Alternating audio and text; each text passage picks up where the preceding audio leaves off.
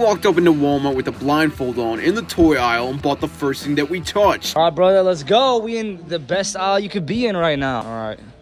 Okay. Oh, bro, wait. No, bro. Bro, you gotta come on. All right, all right, all right. Okay, yeah, yeah. Oh, It's a Fortnite sniper rifle? $37 Nerf gun. Fortnite edition. Now we're gonna test the accuracy on this bad boy. All right, guys, here are the cups.